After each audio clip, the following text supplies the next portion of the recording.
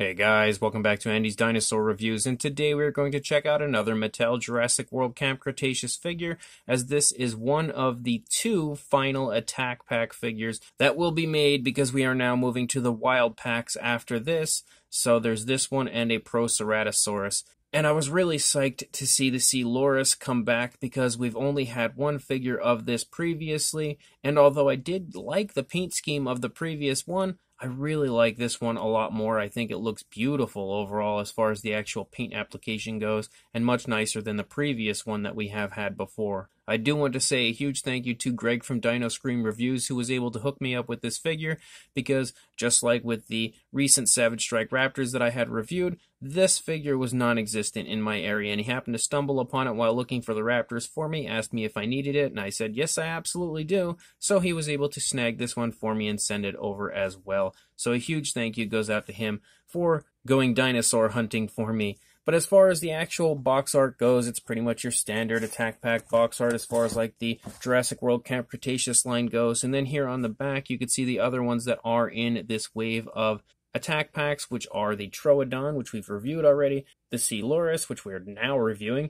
the Proceratosaurus, which is the other one of the two newest, and then we have Ankylosaurus Bumpy, which we have also reviewed here on the channel. The packaging on this one's a little bit beat up, which he did actually ask me if that was okay before he sent it, which I'm about to take it out of the packaging anyway, so I did not care. So actually, let's just go ahead and do that right now. So here is our Coelurus, and I really wish, you know, before we even get into the figure, I wish Mattel would go back to including those kind of cards that they were including before, the like trading cards that they had in there, as opposed to these random like Camp Cretaceous booklets. I really loved the trading cards that they were including previously. Not a big fan of these booklets, especially because every single time you get the exact same thing, which is just kind of boring if you ask me. But as far as the figure goes, it looks beautiful. Absolutely beautiful looking interpretation of the Coelurus from Mattel. I definitely like, oh, wait a minute. I definitely like this one more than the previous one, but what is going on with this guy's mouth? Boy, does he have a severe underbite, and I don't know why. Like, it looked like maybe the jaw needs to be pushed up, maybe. And I pushed it up. It doesn't want to go in very well. I'm not sure what is going on with this guy right there because it looks like the jaw is actually fully back.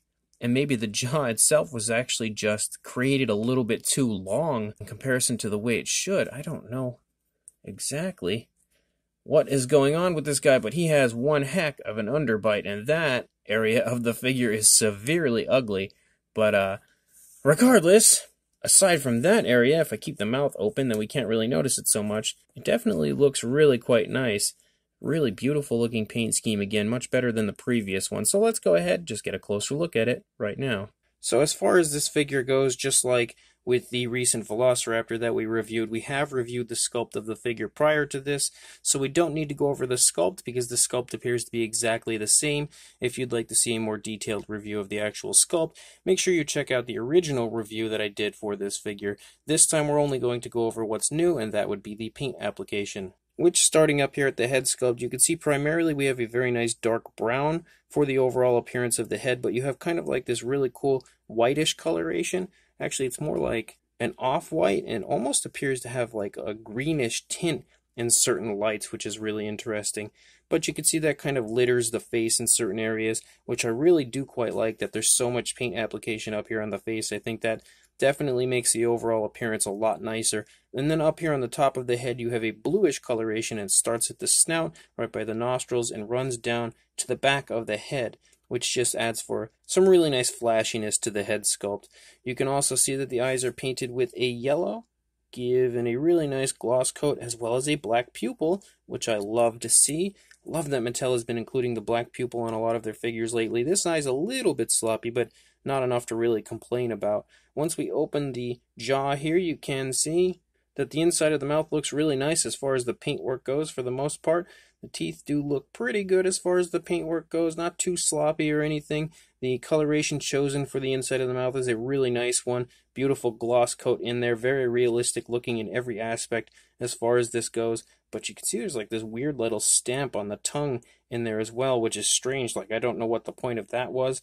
Very weird to have included that right there, but it is there. Again, I hate that this has the underbite. I don't know what happened to this figure specifically. So if I can encounter another one, I'll definitely be picking up another one to replace this underbite version.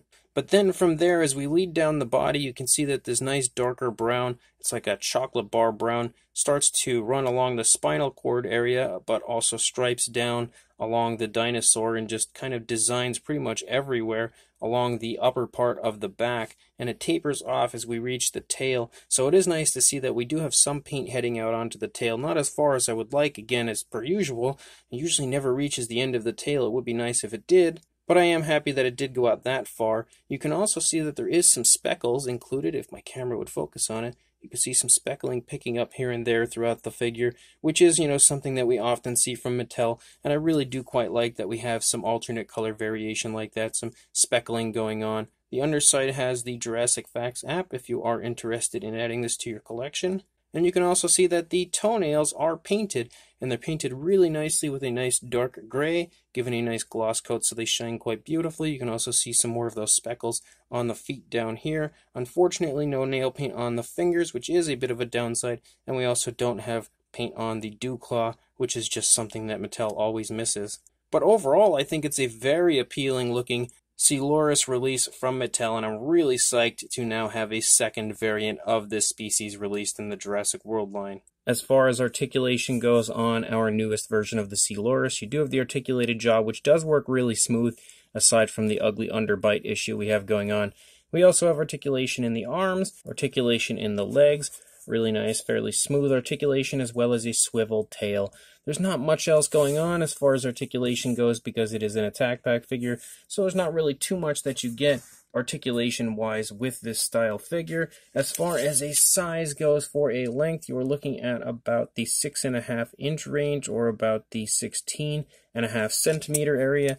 And then for a height, you're looking at right around three inches or about seven and a half centimeters, closing in on eight for a size comparison, there is Mr. Papo T-Rex, the Attack Pack Dilophosaurus, and Robert Muldoon from the Mattel Jurassic World toy line next to our brand new Attack Pack Coelurus. And I would think that by now, if you are a Jurassic World collector, you've already purchased an Attack Pack at some point. So if you have, you'll already know roughly what the size is because all of the Attack Packs are in a fairly similar size range usually, and this one is definitely right there along with the rest, especially if you have the previous Coelurus. It's exactly the same figure, just new paintwork, so you'll definitely already know what the size is. But if not, hopefully these figures right here can help you out. So this newest variant of the Jurassic World Attack Pack Coelurus, this time for the Jurassic World Camp Cretaceous line, is definitely a fun figure. The only downside with mine is the fact that it has an underbite. There's something wrong with the lower jaw. I don't know what it is. I've actually never encountered this prior with the Mattel line that I can recall anyway. So it's very interesting that this has occurred with mine, but it's not something I'm hoping is a widespread issue with this figure, or at least you know, again, I'm hoping it's not.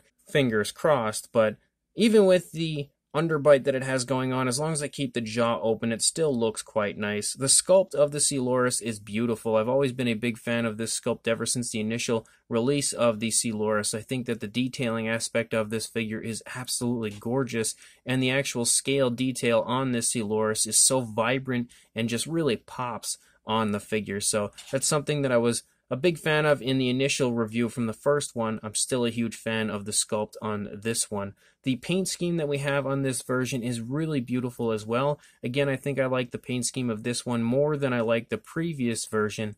The coloration on this just looks really natural. All of the colors play off of each other beautifully. Even the way that that blue just plays off of the darker brown and that kind of an off-white coloration. It just all looks so great in comparison to each other. So it was a really nice choice in the part of Mattel as far as the colors they chose for this figure. And it's all applied really nice and naturally throughout the entire figure. Again, I would have loved for that darker brown to run out the entire length of the tail or even maybe start having like some stripes out there on the tail. It really would have just amped up the overall beauty of the figure quite a bit, but Mattel always does seem to give us like the bare minimum as far as their paintwork goes, so it's not something I'm too surprised about, but it's something that I'll keep my fingers crossed that in the future maybe they'll start to rectify that and give us a little bit more paintwork on their figures because it really is honestly like one of the only big downsides from the Mattel line is the lack of paint And I feel like Mattel is just killing it in every other aspect of their figures continuously. Like they always release such beautiful, pretty much dream-worthy figures for their line, but they always just get lazy with the paint application, and it's just something that it's just baffling to me. I don't understand.